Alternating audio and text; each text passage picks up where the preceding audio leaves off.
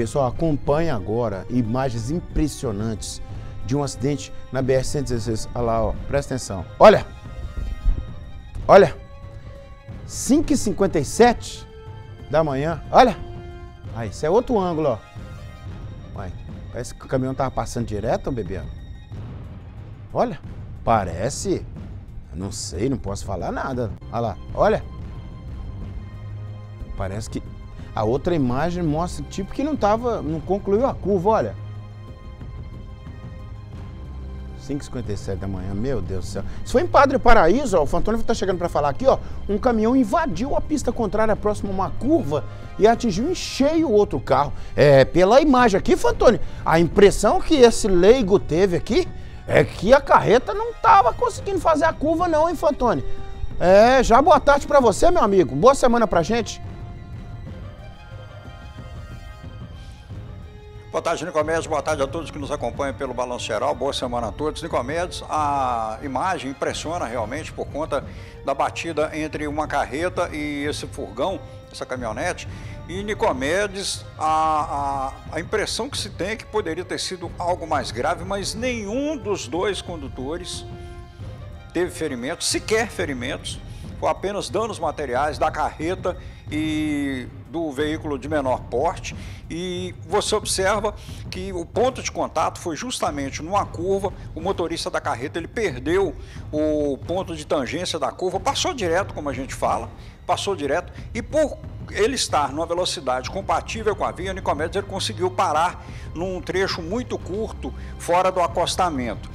A caminhonete também, é, após o impacto, você veja que ela roda, deita e estabiliza. Então, o motorista também não estava com velocidade acima do permitido e por conta dessa precaução, parece estranho, mas por conta dessa precaução, os motoristas estarem a respeitar as normas de principalmente respeito de velocidade, o acidente não foi mais grave. Esse acidente está sendo estudado pela Polícia Rodoviária Federal.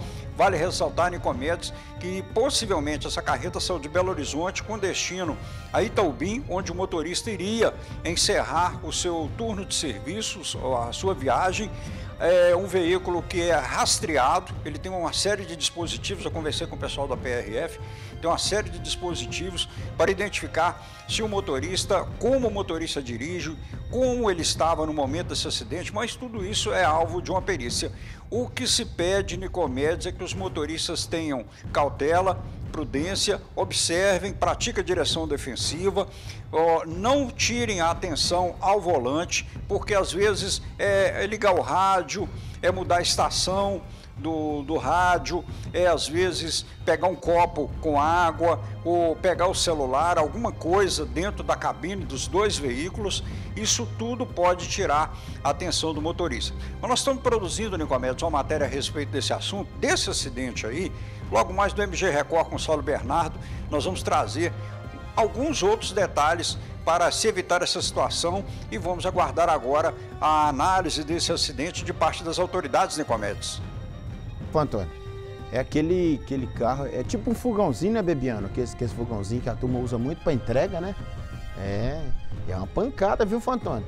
Uma pancada, foi uma pancada de cheio aí, rapaz. A gente poderia estar tá falando aqui de uma grande tragédia, viu, gente? Olha! Olha lá. De manhãzinha, né? Eu vou deixar para ir amanhã de manhã levar esse trem lá, que é mais tranquilo, não vou à noite. Olha lá. Vai entender. É acidente, né, gente? Daqui para ali, amanhecendo o dia. Meu Deus do céu. Ê, Fantônio, não tá fácil não. Depois você volta aqui com mais informações no Balanço Geral Fantônio Pêssego.